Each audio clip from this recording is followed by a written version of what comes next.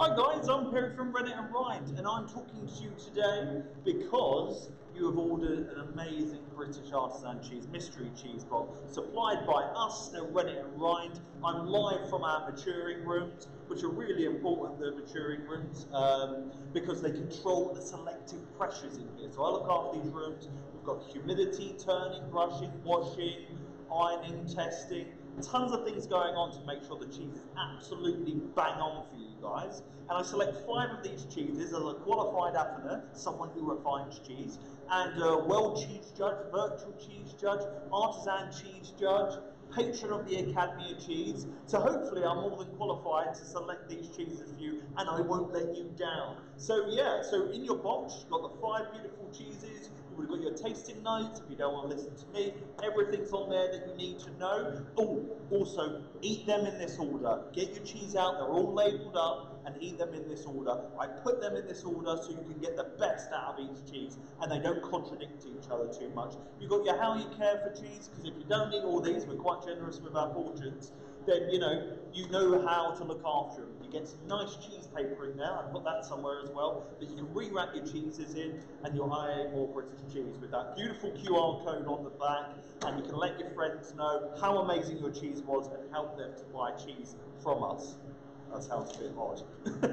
but anyway, we're moving to our first cheese. The first cheese up, we have the Mayfield, made down in Sussex by Arthur Alsop awesome cheese. So let's just inspect it. First thing we do, visually, let's take a look at it. Look at the interior that we have there. So the interior is yellow, cow's milk, right? And we've got these beautiful round holes that are emerging in the cheese. It's not mice, it's uh, bacteria that's alive in the cheese. And as it breathes out, imagine, as it breathes out in a solid, semi-solid, you know, cheese state, it creates these spheres, which actually look like holes. So dispel that rumour, you can pop that one in your trivia memory banks. And we've got this nice little covering on Plastico wax kind of rind, just to protect the cheese, keep the moisture in.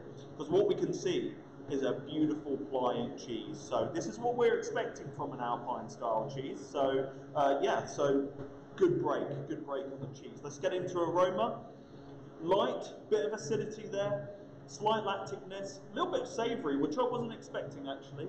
Nice nuttiness, you know. What I wanted, nice and mild, ease us into the journey, which will be amazing, you know. That's what we're looking for. Let's give it a taste.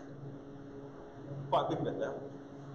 Great texture. Dense, claggy, gets stuck around the gums, which is great. A little bit chewy, beautiful dairy milkiness, nice back note of savouriness actually, which I wasn't anticipating. A nice sweetness, acidity intermingled there, great clean finish. Finishing in that dairy area, you know, that we're all familiar with. Coats the palate beautifully. Quite more, it's stronger than I anticipated, which, you know, is great. You know, why not? You know, um, so great to move us in there, and then nice caramels at the back. That sweetness. I was hoping that would come in. I was worrying that it wasn't, but it's coming nicely, which is great. Next cheese we have up is Quicke's Quicke's mature cheese. You know, so that's matured and made in Devon by Mary Quicke, legendary cheesemaker, legendary woman. I did a BBC Devonshire present with her the other day, actually, because uh, this cheese is quite special at the moment because I've entered the Affineur of the Year, first competition to be held in the UK. I received a Quicke's at three months old, and I'm going to mature it for a further nine months, and enter with uh, all the other all the other in the UK to find out who's best. I mean, I'm not, you know, massively like com competitive. I'm kind of pushing the boundaries on maturing cheddar. So more temperature, slightly different humidity, some different techniques I'll be applying. So yeah, head over to our Instagram and search Affineur of the Year to find out about it. But it's a cheddar style, once again yellow, so we know cow's milk. You've got this waxy rind on the outside. That's an indication that it's a traditional cloth-bound cheddar style cheese. You know, a little bit of mold that's developing on there that we're going to expect all fabulous artisan cheese. Aroma. See now, where the first one's more milky, dairy, grassy. No, no, no, it's not grassy. Milky dairy with acidity and sweetness. This one is more uh, tang, familiar cheddar tang that you get. The, the, the, the acidity is slightly lemony actually, more, more towards citrus. And that's kind of got as grassy on this definitely at the back, yeah, which is good. Texture is pliant but crumbly in consideration to the previous one that we had. Flavour and texture. Mmm, great saltiness at the start actually. Nice familiar tang that's coming through but very gently. Great butteriness actually. It's not like your typical cheddar where it's like pow, you know, right in the face, up front you know you're eating. It's far more delicate and gentle and complex with a nice kind of slight smoky edge, which is really unusual actually. Grassy, what you'd expect from Quicke's. The buttery is higher. Really moreish. But that smoky note's really interesting. Great. Okay. Really nice cheese. Quicke's, fantastic. I, once again, that's taken me by surprise. Next cheese up, we have a Berk Berkswell. This typical shape there has means that it's been uh, made in like a colander type shape, a UFO shape there has. It's got these beautiful molds that develop on there. We've got Chrysosporium going on, we've got Penicillium, we've got a little B. linens on there. I love the rind on this cheese. It's quite thick on this one, draws in quite well. Let's have a look at the, uh, the colour, white, sheep's milk. So as I was saying, cows they don't absorb the colouring in grass. Sheep's, cow, uh, goats do. They take on that so it doesn't pass on to their milk. So yeah, really nice colour, slightly more flaky, which is good. Still got that, uh, you know, quicks that's there, still, still lingering. Aroma, oh, savoury, nutty, that's raw nut. You know, where this is refined sweetness, this is a really nice, gentle nuttiness. That smells beautiful. Play Flavour, drier than we're used to from the previous cheeses, which is a good thing. We got some crystals that are happening there. Good bit of pepperiness around the tongue, which is great. That nuttiness is now coming through. Slight spiciness from the pepperiness that's coming in. Zing of um, of lemon.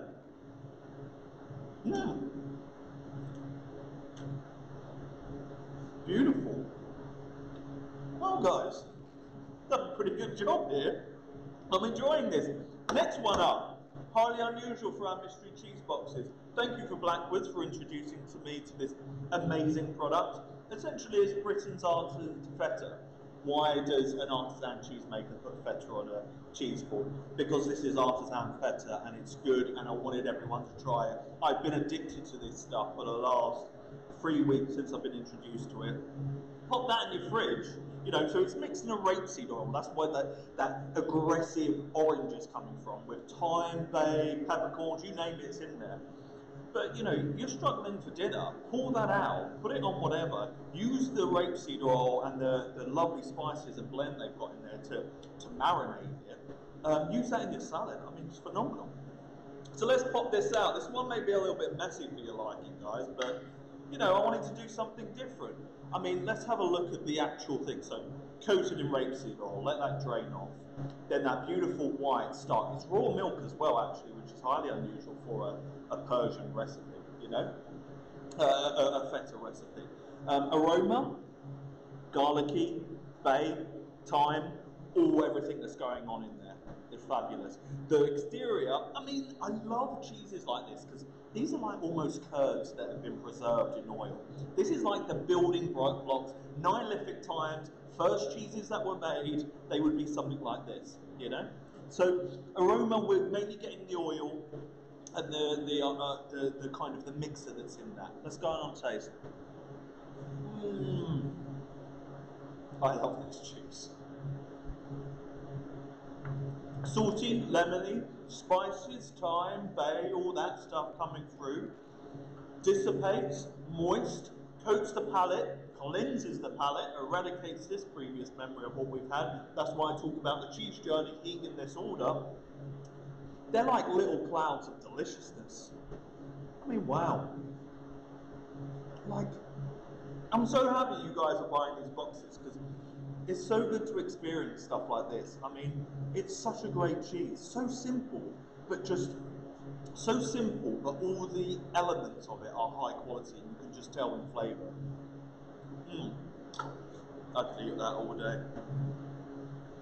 Blackwoods cheese, Graceburn, Persian recipe, feta, phenomenal. I hope you guys enjoy that. I know it's a bit left of field, but I really hope you enjoy that. I kind of based the board around that cheese because I just want you guys to experience it. Next cheese up, uh, blue. Always have a blue Beauvale, made by Cropwell Bishop in Nottinghamshire. British answer to Gorgonzola. Love this cheese. So we've had the soft with this, with the, the, the Blackwoods, but not oozy soft, you know. So I wanted to give you something that was a little bit more, you know, kind of aggressive, you know, on the on the oozy. Good peppering of blue that's consistent through there. We've got breakdown going on. This is like a dolce. Like I mean, look at that. You know, it's, it's pretty cold in the caves at the moment in maturing rooms. Where you know I'm having some troubles with humidity, the high weather that we've had. So I've had to chill it down a little bit to keep it more consistent. Um, but yeah, I mean, once this is on your board, it's got to run off. I mean, smell, dairy, hops, digestive. Pretty much every time I say about blue that's there. Bit of salty bitterness that's there. Let's give this flavour a go. Really great. The piquancy is high. For a creamy cheese, it really takes you by surprise, that piquancy. There's almost like an acidity that has a pepperiness there as well. The cream or and then the saltiness comes in the back. That saltiness, which is like a meat saltiness, like uh, roast chicken skins kind of thing. You know, when you peel that off your freshly roast chicken and hope your other arm doesn't notice that all the skin from the chicken's gone. Maybe that's just me. Delicious. Great. Well, guys, I'm so happy with these five cheeses. I, I, think they're a really great board. It's my birthday month as well, so I'll be tasting these cheeses a lot because because uh, I love cheese, and what better way to celebrate your birthday than, than, than five amazing cheeses. I hope you guys enjoy the Graceburn. My favourite, I'm going to go Graceburn. You know, purely because it's just so different and just so well executed. I think that's the final point. So well executed, but it's tough. I mean, that Burke's was amazing. That Beauvale was just phenomenal. Amazing cheeses, um, guys. You know, thanks for all your support again. Really appreciate it. You know, we're coming out of lockdown. More people are going to restaurants. We're supplying more cheeses to our restaurants. These maturing rooms are looking more empty than they were in lockdown, which is amazing because it means that maybe we just save, like, together and everyone else. Come on. You know, the British artisan cheese industry. So thank you so much for your support. Really appreciate it. Any questions, guys, look us up and give us a call. We love speaking to you. Have a great weekend or, or, or month of June and uh, enjoy it. Speak soon.